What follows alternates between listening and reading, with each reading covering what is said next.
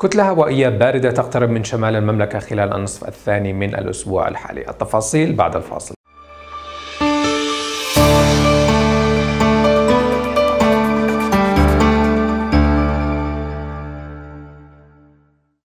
أسعد الله أوقاتكم بكل خير متابعينا في المملكة العربية السعودية. تستمر الأجواء مستقرة بشكل عام بالرغم من أننا في موسم الوسم في الجزيرة العربية لكن الاستقرار الطقس والمرتفع الجوي المسيطر هو السمة الأبرز خلال الأسبوع الحالي. درجة الحرارة تبقى حول معدلات مثل هذا الوقت من العام في عموم المناطق باستثناء المنطقة الشرقية حيث تكون درجة الحرارة أقل بقليل من معدلاتها مثل هذا الوقت من العام. لكن اعتبارا من يوم الأربعاء تقترب كتلة هوائية باردة من شمال المملكة هذه المرة تعمل على انخفاض حاد وكبير على درجات الحرارة مع نشاط في سرعة الرياح المثيرة للأتربة والغبار.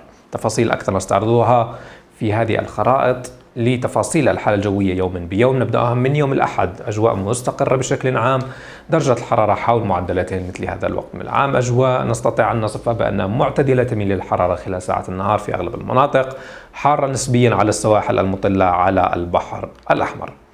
يوم الاثنين لا تغيير الحالة الجوية تستمر درجات الحرارة حول معدلات مثل هذا الوقت. من العام باستثناء المنطقة الشرقية حيث تكون درجة الحرارة أقل بقليل من معدلاتها مثل هذا الوقت. من العام طقس معتدل خلال ساعة النهار بارد نسبي خلال ساعة الليل خاصة في المناطق الداخلية البعيدة عن السواحل.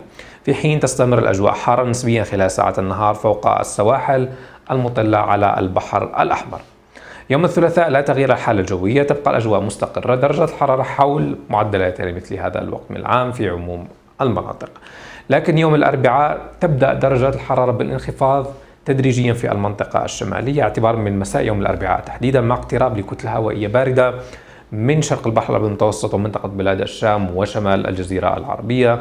استعمل انخفاضات واضحة على درجات الحرارة ستكون ملموسة. اعتبارا من يوم الخميس لاحظوا درجات الحرارة في منطقة تبوك كمثال 20 درجة مئوية فقط أي انخفضت 10 درجات مئوية مقارنة بيوم أمس الذي هو يوم الأربعاء. سبع درجات مئوية فقط متوقعة خلال ساعات الليل. درجة الحرارة أيضا تبقى حول معدلاتها مثل هذا الوقت من العام في المنطقة الشرقية والوسطى وعموم القسم الجنوبي من السعودية.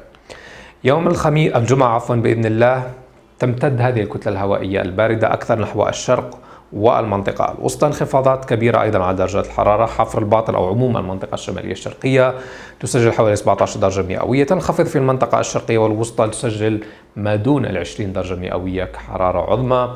أما الأجواء تبقى حارة نسبيا في المناطق أو السواحل المطلة على البحر الأحمر. وبالتالي هناك اختلافات وانقلابات حرارية واضحة خلال الأسبوع الحالي مع استمرار الأجواء أو الأجواء المستقرة بشكل عام في عموم المناطق. إلى هنا تنتهي نشرتنا للقاء